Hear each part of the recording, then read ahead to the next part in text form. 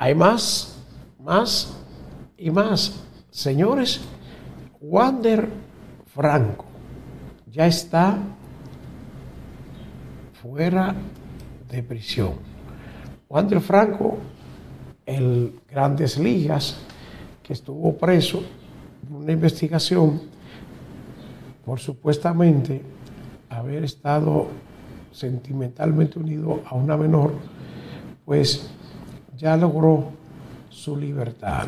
Y no solo que logró su libertad, sino logró que la acusación, la parte más grave de la acusación que le están haciendo, sea desestimada por el juez que conoció la medida de coerción. Así como te lo oye, el tribunal rechazó acusación de asociación de malhechores y explotación sexual en contra de Wander Franco. Eso, pues, aliviana la carga para este joven. No lo excluye totalmente del caso, pero la aliviana, aliviana la carga. En el dispositivo de la medida de coerción en contra de Wander Franco y la progenitora de la adolescente de 15 años. La Oficina Judicial de Servicios de Atención Permanente del Juzgado de la Instrucción de Puerto Plata rechazó algunas de las imputaciones que hacía el Ministerio Público contra el pelotero de grandes ligas. En el documento, la justicia se opuso a la acusación de asociación de malhechores y comercialización y explotación sexual de niños, niñas y adolescentes en contra del campo corto de los Ryans de Tampa Bay. Ahí está rechazada una de las acusaciones más graves que hacían los del Ministerio Público. Habría que acreditar al menos que el imputado, en acuerdo con otras personas, se dedica a la comercialización y explotación sexual, no solamente de la menor de edad de este proceso, sino además de otros menores de edad, lo que no ha sido acreditado porque la Fiscalía le ha sindicado únicamente este proceso respecto a una sola víctima, dice el expediente. No se comprueba en ninguna parte que el imputado para recibir favores sexuales de la menor de edad realizara pagos o tuviera al menos tarifas que le delegaran el dominio de la menor de edad, sino que muy por el contrario sostenía un noviazgo con la menor de edad de forma natural, respeto al cual la adolescente y víctima se refiere como el imputado era uno, era una persona buena, lo que deja sin razón los tipos penales en análisis.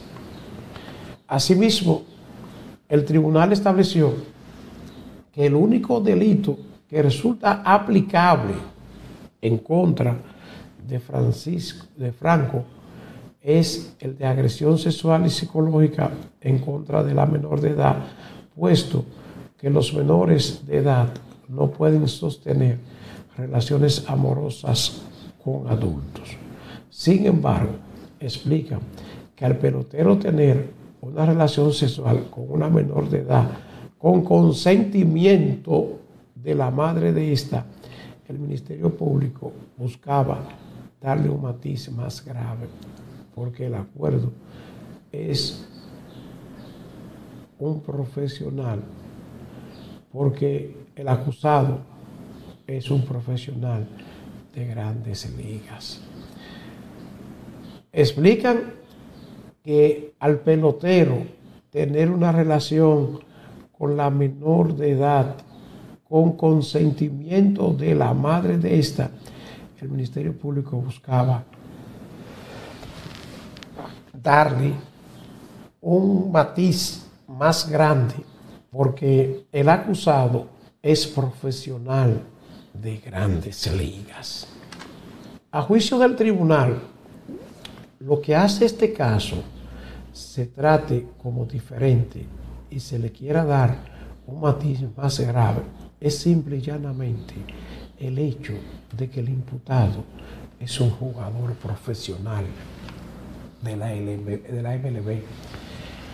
Sin embargo, el tribunal está llamando a administrar justicia sin hacer distinción y sin prejuicio, salvo aquellas diferenciaciones que la misma norma posee y que no resulten aplicables al imputado, como sería, por ejemplo, que el imputado fuera maestro de la menor de edad o al menos que se tratara de una persona a la cual inteligentemente se, se le demanda más por las funciones sociales que realiza como funcionario público, un juez, un fiscal y hasta un abogado con consentimiento o con conocimiento de la ley.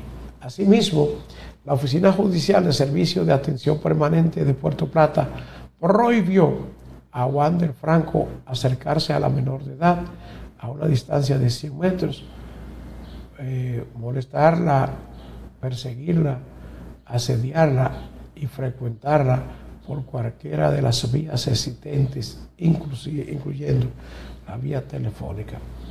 En cuanto a la madre de la menor, el tribunal estableció que la mujer tampoco incurrió en asociación de malhechores. Sin embargo, sí cometió lavado de activos por el hecho de que al tener conocimiento de la supuesta relación amorosa del imputado y su hija, comenzó a lucrarse de eso. Bueno, ahí está el caso de el pelotero Franco. Y lo que dice el tribunal, dice el tribunal que lo que está pasando es que como es un profesional de grandes ligas, se le ha dado una mayor dimensión al caso.